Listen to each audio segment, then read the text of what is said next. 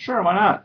I mean, you took the time to ask, so you are probably marginally interested. Ah, it's not like I get so many that I got to worry about it cutting into my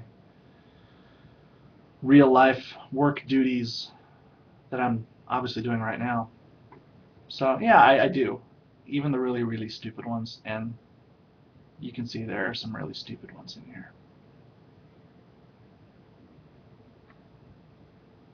Mm.